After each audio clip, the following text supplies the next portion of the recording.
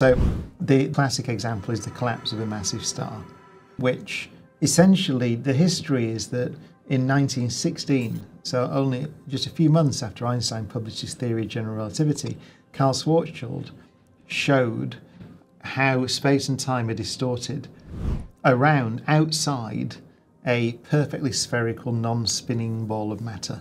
So it's, it's a solution of Einstein's equations.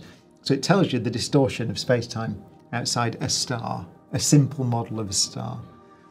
Now, it turns out that in those equations, if you just keep the distortion but remove the star, but leave the, leave the mathematics there, then you have the description of a black hole.